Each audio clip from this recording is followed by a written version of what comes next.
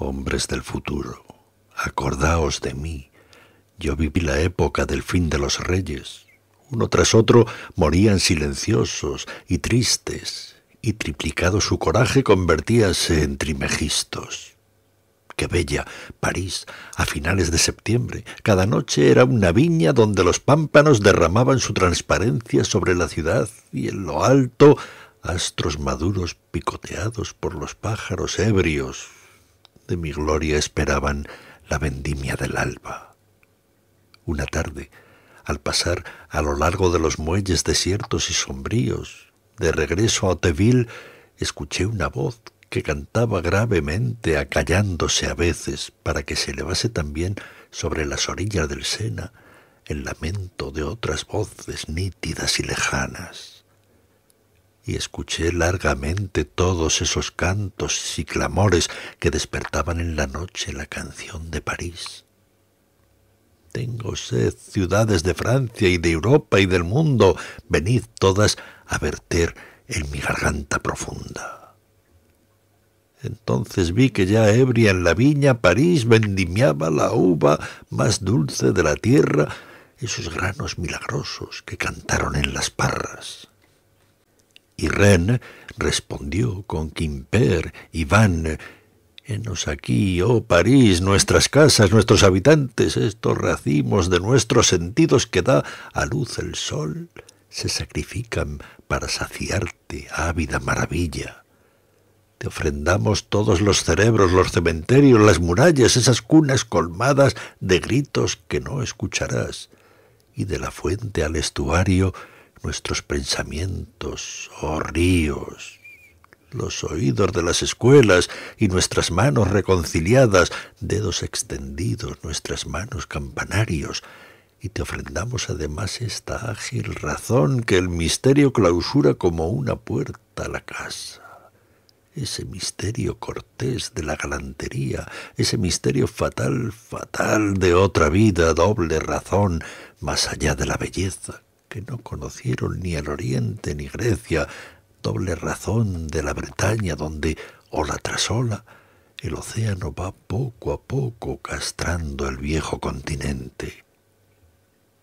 Y las ciudades del norte respondieron jubilosas.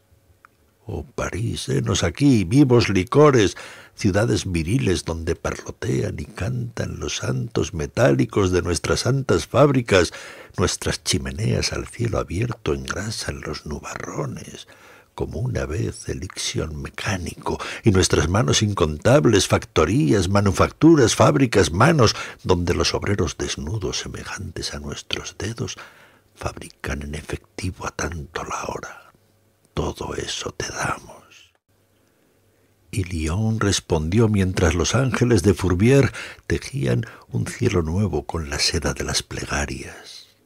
Sáciate, París, con las divinas palabras que mis labios el ródano y Saona murmuran, siempre el mismo culto de su muerte renaciente. Aquí divide a los santos y hace llover la sangre, afortunada lluvia, oh gotas tibias, oh dolor un niño ve abrirse las ventanas y ofrecerse racimos de cabezas de pájaros ebrios. Las ciudades del mediodía entonces respondieron, Noble París, única razón que aún vives, que fijas nuestro carácter a tu destino y tú, replegándote Mediterráneo, partid nuestros cuerpos como se quiebran las hostias, esos sublimes amores y su danza huérfana, se convertirán, no París, en el vino puro que amas, y un estertor infinito que venía de Sicilia daba en un batir de alas significado a estas palabras.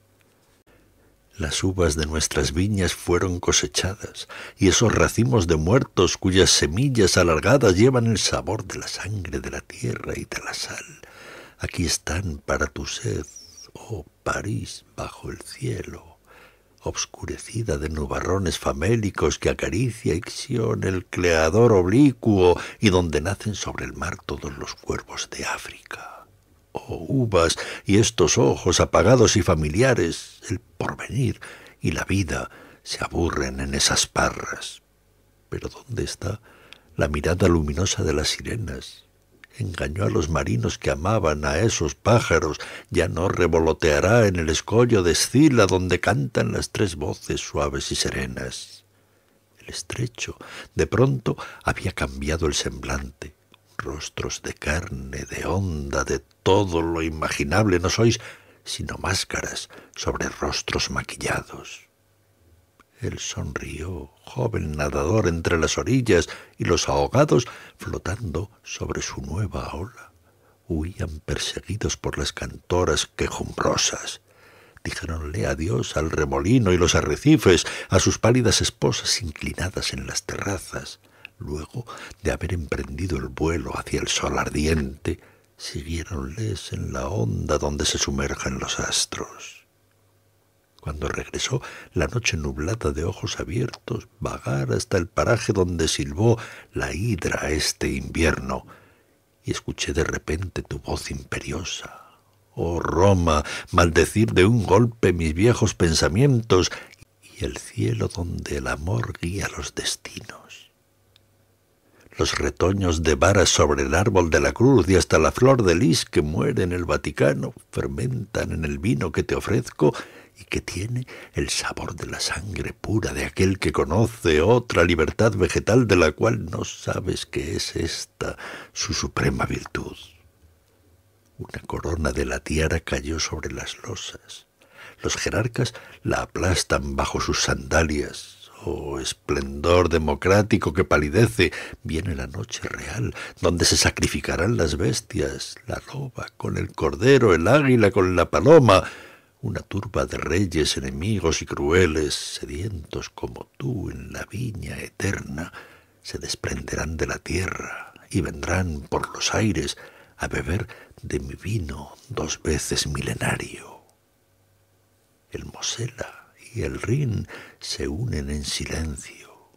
Es Europa, que reza noche y día en Coblenza, y yo que me demoraba en el muelle de Oteville, cuando a veces caía en las horas como las flores de la cepa, a su tiempo escuché la plegaria que se unía a la claridad de estos ríos. Oh París, el vino de tu país es mejor que aquel que se abre camino en nuestros bordes, pero en los pámpanos del norte todos los granos murieron de esta sed terrible. Mis racimos de hombres fuertes sangran en el lagar. Beberás en largos sorbos toda la sangre de Europa, porque sólo tú eres noble y bella, porque es en ti que puede Dios manifestarse y todos mis viñadores en esas bellas casas que a la tarde reflejan sus fuegos en nuestras dos aguas, en esas bellas casas nítidamente blancas y negras cantan tu gloria sin saber que tú eres la realidad pero nosotros, líquidas manos que se unen para la plegaria, nosotros guiamos hacia la sal las aguas aventureras, y la ciudad, entre nosotros como entre tijeras, no refleja durmiendo ningún fuego en sus dos aguas, de las cuales algún lejano silbido a veces se eleva trastornando en su sueño a las muchachas de Coblenza. Las ciudades respondían ahora por centenas. Ya no distinguía sus palabras lejanas y Treves, la ciudad anciana, mezclaba a estas otras su voz. Concentrado en este vino el universo entero que contenía los mares, los animales, las plantas, las ciudades, los destinos y los astros que cantan los hombres arrodillados en la orilla del cielo, y el dócil hierro, nuestro fiel compañero, el fuego que hay que amar como se ama a sí mismo.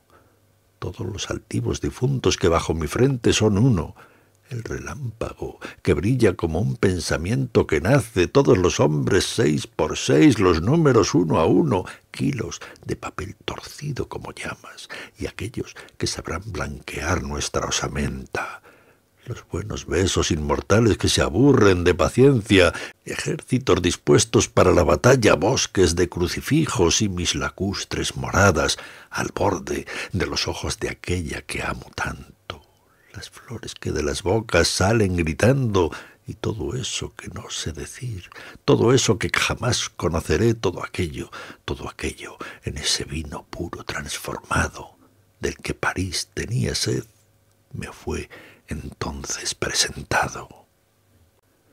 Acciones bellas, jornadas, sueños terribles, vegetación, acoplamiento, músicas eternas, movimientos, adoraciones, dolor divino, mundos que os agrupáis y que se nos asemejan. He bebido de vosotros y no he sido saciado.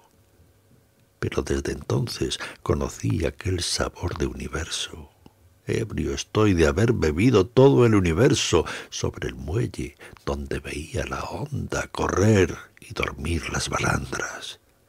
Escuchadme, soy el gaznate de París y si me place beberé aún del universo. Escuchad mis cantos de borrachera universal.